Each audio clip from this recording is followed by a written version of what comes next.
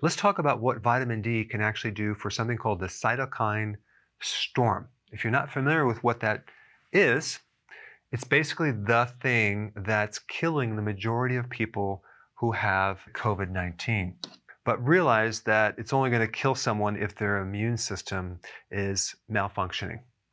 There's a really interesting study. I'll put the link down below. It wasn't peer reviewed yet, but it was from the Northwestern University comparing two groups of countries.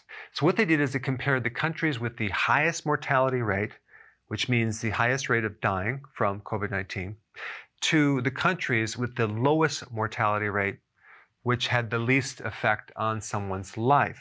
And then they looked at their vitamin D status and they found a really good correlation between the higher mortality group and the lowest amount of vitamin D versus the lowest mortality rate and the highest amount of vitamin D.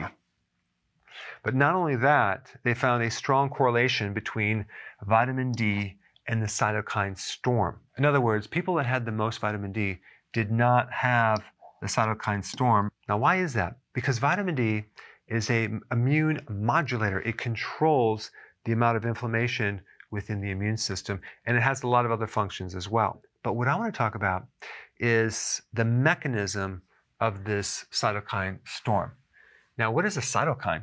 A cytokine is a signaling protein that can do several things.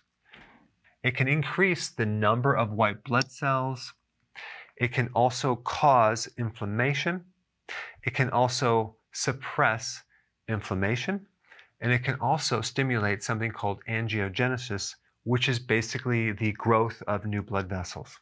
So, just as your immune system has many different strategies um, in fighting off the invaders, like pathogens, these pathogens, like viruses, also have strategies to survive and counter the attacks. So, this is my picture of a cytokine storm.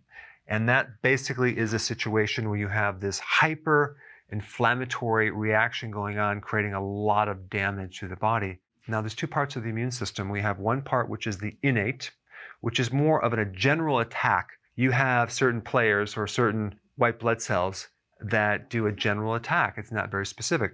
But over here, we have something called the adaptive or acquired immune system, which is all about being very specific in their attack. The HIV virus has its strategy of knocking out called the T helper cell, which is like the, the quarterback or the general that's orchestrating the entire immune system, recruiting different players, uh, generating different weapons to attack uh, these pathogens.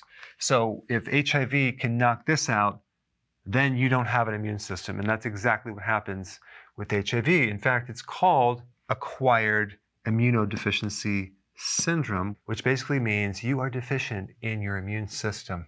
Now, other viruses will attack the T regulatory cells, and the T regulatory cells are the T suppressor cells that put out the fire in the cytokine storm. One of the jobs is to lower inflammation and prevent autoimmunity, which there's always inflammation. So viruses can destroy this cell. Also, low vitamin D can cause this to not work and allow this to work. So in other words, here you have this imbalance. You don't have the brake pad anymore. It's all accelerator and you can't turn off this flame. So that creates an overreaction of the immune system. Now, there's another interesting strategy that these viruses and bacteria have, and that is called superantigen. Now, an antigen is a part or piece of a pathogen that your immune system is reacting to that is foreign and creating damage. Okay, so it's like a little piece of a pathogen. And of course, your immune system, once it sees that thing, it's going to attack it. So, what our immune system will do sometimes is take a piece of that to recognize the signature of that pathogen so it knows what to eliminate or attack. So, it's really the antigen that's presented uh, to your immune system so your immune system can attack and destroy. But the problem is with a super antigen, it's binding to everything. Now, remember, I talked about part of the immune system is nonspecific or general? Well, the other system called the acquired or adaptive is no longer specific. In other words, these special forces that are trained to kill a very specific thing are now killing everything. So you can imagine you took this high powered machine gun with a shotgun all together and you completely annihilated your house by shooting everything, but not necessarily the thief. So the problem with super antigens is the collateral damage that that creates within your own immune system. So these antigens are binding to everything, and so everyone has a little red uh, X on their back, and we're getting massive amount of cytokines all over the place. You see, in a normal immune response, you have the antigen that is presented, and then you have the immune attack.